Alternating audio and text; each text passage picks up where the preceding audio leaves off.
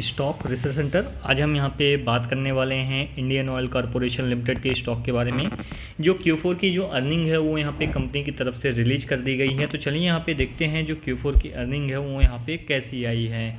Final dividend भी यहाँ पे कंपनी ने अनाउंस किया है। द फाइनल डिविडेंड सत्तर परसेंट, सात रुपये पर इक्विटी शेयर का यहाँ पे फाइनल डिविडेंड भी यहाँ पे कंपनी की तरफ़ से अनाउंस किया गया है। तो वो चीज़ें भी यहाँ पे मेंशन कर देता हूँ। आ जाते हैं कंपनी के जो रिज़ल्ट हैं यहाँ पे कंसोलिडेटेड रिज़ल्ट हैं, उसको यहाँ पे देखते हैं, ये स्टैंड लोन रिज़ल्ट है।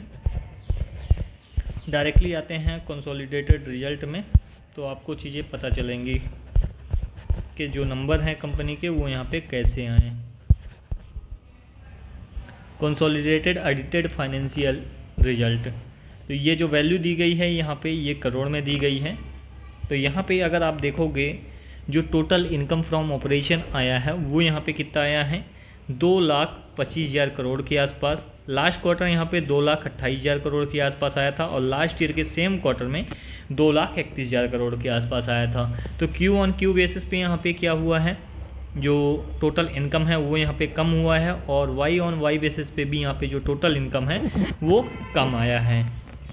तो यहाँ पे कंपनी थोड़ा सा इस बार जो कंपनी का इनकम है, वो थोड़ा सा बिज़नेस कम हुआ है। टोटल जो एक्सपेंसेस की बात करें, यहाँ पे दो लाख सत्रह हज़ार करोड़ के आसपास हैं। लास्ट क्वार्टर यहाँ पे दो लाख सोलह हज़ार करोड़ के आसपास थे। बिज़नेस कम हुआ बट खर्चे बढ़ गए फिर भी। और लास्ट क्वार्टर लास्ट ईयर के सेम क्वार्टर में दो लाख अठारह हज़ार करोड़ के आसपास थे।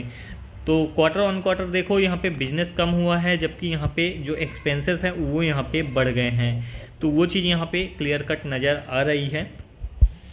इससे क्या होगा कि यहाँ पे जो प्रॉफिटेबिलिटी है, वो यहाँ पे थोड़ा सा तेज़ी से डाउन होगा।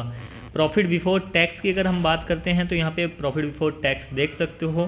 कितना आया है? चौहत्तर सौ उन्नीस करोड़ के आसपास। लास्ट क्वार्टर यहाँ पे बारह हज़ार करोड़ के आसपास आया था और लास्ट ईयर सेम क्वार्टर तेरह हज़ार सात सौ अंठावन करोड़ के आसपास। तो क्यू ऑन क्यू बेसिस पे यहाँ पे जो क्या है? प्रॉफिटेबिलिटी डाउन हुई है। और वाई ऑन वाई बेसिस पे तो यहाँ पे बहुत ही ज़्यादा डेंट यहाँ पे आईओसी की स्टॉक में देखने को मिल रहा है। नेट प्रॉफिट की अगर बात करें तो नेट प्रॉफिट भी यहाँ पे डिक्लाइन हुआ है।